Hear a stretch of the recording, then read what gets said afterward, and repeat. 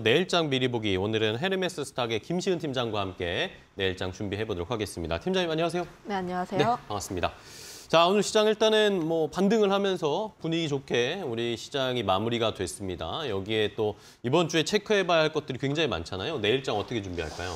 오늘 뭐 전약 후강이었죠. 네네. 일단 뭐 불안정한 시장이 좀 어느 정도 해소가 되면서 일단 그 부분에 대한 기대감이 있지만 아직까지는 안심할 수가 없다는 말씀드리겠고요. 아무래도 파월에서 매파적인 발언이 나오게 되면서 긴축 우려감이 굉장히 커지고 있습니다. 물론 어, 실리콘뱅크 같은 경우에 에 대한 우려 때문에 50bp까지는 아닐 것이다 라고 이야기가 나오고 있지만 일단은 3월 FOMC 발표가 될 때까지 계속 확인해 볼 필요가 있겠고요. 네. 그리고 내일 밤 CPI가 발표가 될 예정인데 일단 이런 지표가 FOMC를 앞두고 발표되는 가장 중요한 지표다 보니까 사실 인플레이션 향 방향성에 대해서 굉장히 중요하다 보니까 사실상 시장에서는 CPI가 어떻게 나오는지 계속 확인하고 싶은 심리가 굉장히 나오고 있다 보니까 네. 사실 이 부분을 확인해 보는 게 가장 중요하다라고 보여지고 있습니다. 지금 시장에서는 6.1에서 2% 정도로 뭐 성,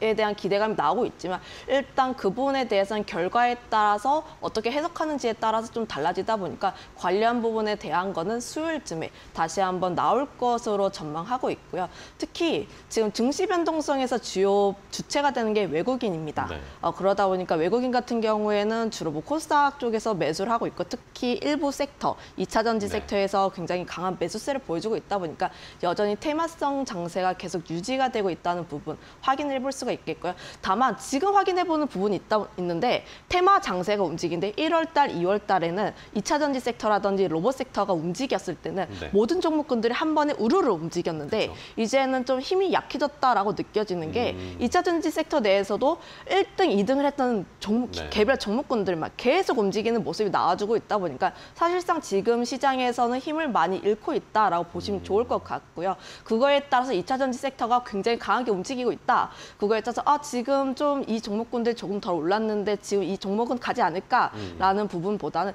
사실상 저는 지금 같은 상황에서는 조금 관망하시는 게 음. 좋지 않을까라는 게 어, 좀 심리적으로 좋아, 좋을 것 같고요. 네. 그만큼 시장에서 좀 불안정한 상황이 있고 그리고 악재 같은 경우에 더 큰 악재로 심리적으로 받아들여지고 있다 보니까 일단 그 부분에 대한 우려가 계속 나오고 있다 보니까 어, 방향성을 잡기 전까지는 관망을 하시거나 아직까지는 현금화를 하실 수 있는 분들에 한해서는 현금을 하시는 게 약 30% 정도의 현금을 가지고 있는 게 가장 좋은 방법이지 않을까라는 말씀 드려보도록 하겠습니다. 네. 자, 어쨌든 2차 전지 뜨겁게 가고는 있지만 확실히 1월, 2월보다는 그 상승 탄력이 조금씩은 줄고 있다. 이 동력이 조금은 떨어지고 있다라는 거 체크해 봐야 되겠고 결국에는 이번 주에 CPI 발표가 가장 중요한데 바이든 대통령이 어쨌든 조금 또 힌트를 주기는 했습니다. 좋을 것이다 라는 식의 예고가 있었기 때문에 어떻게 나올지 내일 밤에 좀 체크를 해봐야겠습니다. 자, 그럼 내일 시장에서는 어떤 섹터 좀 주목해서 보세요?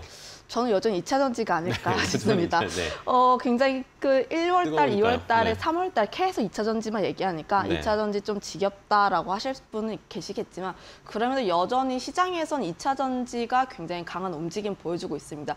물론 오늘 시장 같은 경우도 봤을 때 시장의 불확실한 면이 굉장히 많아지게 되면서 시장 같은 경우에도 굉장히 약세 출발을 했는데 네. 일단 그 중에서도 2차 전지 관련 종목군들이 강한 상승세를 나타냈고요.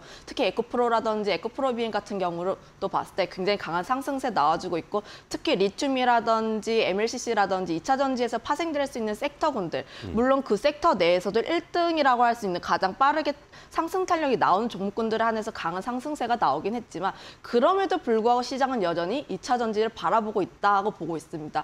어, 수급 쏠림 현상이 나오게 되면서 관련 섹터가 계속적인 상승세를 나와주고 있다 보니까 일단 계속 관련 섹터는 움직일 것으로 전망을 하고 있고요. 네. 거기다가 단기적으로 이번 주 이벤트가 있는데 인터배터리 데이라고 어, 우리가 반도체를 보면 CES를 보듯이 배터리, 뭐 2차 전지라든지 셀 쪽을 보게 됐을 때 인터배터리 쪽을 보시면 좋을 것 같은데 관련 부분에 대한 기대감이 계속 나오고 있습니다. LFP 배터리라든지 각형 배터리에 대한 내용이 계속 나오고 있다 보니까 사실상 이런 부분 상용화에 대한 기대감이 계속 나오고 있다라고 보여지고 있는데 물론 LFP 배터리 같은 경우에는 중 전국 점유율이 굉장히 강합니다. 네. 어, CATL에 대한 점유율이 굉장히 강하다 보니까 사실 그 부분에 있어서 점유율을 크게 차지는 못할 겁니다. 우리나라 기업들이. 음. 그럼에도 불구하고 우리가 기대를 할 수 있는 부분이 유럽이라든지 미국 쪽에서 어, 탈중국화를 진행을 하고 있는 부분이 있다 보니까 사실상 그 배터리에서도 어느 정도 기대감이 나오지 않을까라는 말씀을 드려보도록 하겠고요. 음. 네.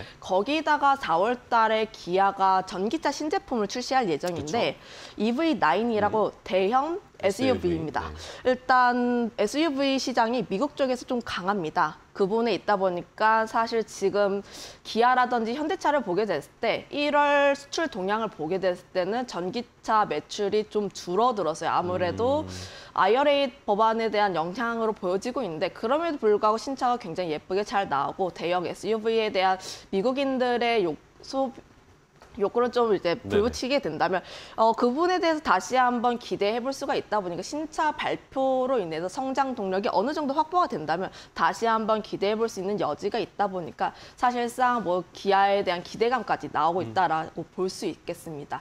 특히 전기차 쪽을 봤을 때 그냥 지속적으로 성장을 한다라고 보시면 좋을 것 같은데 아무래도 지금 같은 경우는 전 세계적인 트렌드가 전기차에 대한 점유율이 계속적으로 확대가 되고 있고 그 부분에 대해서도 배터리라든지 당연히 동반적으로 움직일 수밖에 없는 시장이다 보니까 네. 관련 부분에서 여전히 긍정적으로 바라본다는 점 한번 체크해 보시면 좋을 것 같습니다. 네. 자, 2차 전 지주도 여전히 뭐 뜨거우니까 저희는 어쨌든 흐름은 계속 자- 지켜봐야 되겠고요. 그럼 이제 마지막으로 내일 시초가에 공략해 볼 만한 종목까지 확인해 볼게요. 네, 저는 삼성 전기를 가지고 삼성전기요? 왔는데 음. 어, 역시 2차 전지의 연장선상이라 보시면 좋을 것 같아요. 네. 어, MLCC 관련주라고 할 수 있는 윈텍 같은 경우에는 주가가 지금 20% 넘게 급등하고 있는 모습 보여주고 있다 보니까 그쵸. 다음 날에도 관련주 어, 긍정적인 영향 갈 것으로 전망을 하고 있고요. 특히 전장용 MLCC에 대한 기대감이 계속 높아지고 있는데 어, 전장용 같은 경우에는 뭐 일반 차량에 비해서 그 물량 자체가 약 세배에서네 배 정도 많이 들어가고요. 특히 어, 평단가 같은 경우에도 약 세 배 정도 넘는 모습 보여주고 있다 보니까 관련 부분에 대한 매출적인 기대감이 계속 나오고 있습니다. 물론 일단 매출 비중 같은 경우는 좀 적은 편이긴 하지만 그럼에도 불구하고 산업적인 성장 속도를 기대를 해볼 수가 있겠고 거기에다가 MLCC에 들어가는 물량이 굉장히 많다는 점을 체크를 해봤을 때 이 부분 같은 경우에 앞으로 삼성전기의 성장 동력이 될 수 있지 않을까라는 말씀 드려보도록 하겠고요. 거기다가 MLCC 뭐 스마트폰 수요 회복에 대한 기대감 계속 나오고 있고 재고량도 줄어드는 모습 보여주고 있다 보니까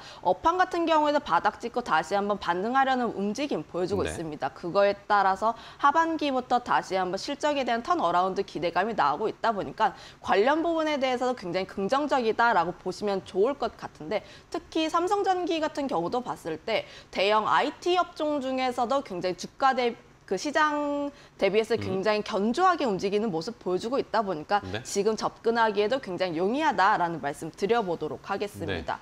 일단 가격 매, 전략을 체크해 볼까요? 네. 매수가 같은 경우에는 지금 박스권 라인대에서 움직이고 있는데 일- 지금 시장 상황이 좀 불확실한 면이 많다 보니까 박스권 하단 라인에서 접근하시는 것이 보다 더 안정적이다라는 말씀 드려보도록 하겠고요. 네. 그거에 따라서 매수가는 14만 4천 원에서부터 14만 8천 원까지 분할적으로 접근해 보시고 목표가는 17만 원 그리고 손절가는 13만 2천 원 제시를 하겠습니다. 네, 알겠습니다. 자, 내일 시초가에 공략해 볼 만한 종목으로 삼성전기 오늘 뭐 3% 가까이 좀 올랐지만 내일 조금 눌렸을 때 15만 원 아래로 내려갔을 때 한번 매수해 보자라는 의견을 주셨으니까요. 저희도 내일 시장에서 한번 삼성전기 지켜보도록 하겠습니다. 자, 내일장 준비 함께 이야기를 해봤습니다. 김시음 팀장과 함께 했는데요. 오늘도 좋은 insight와 좋은 종목 소개해 주셔서 감사하고 다음 시간에 또 뵙겠습니다. 고생 많으셨습니다.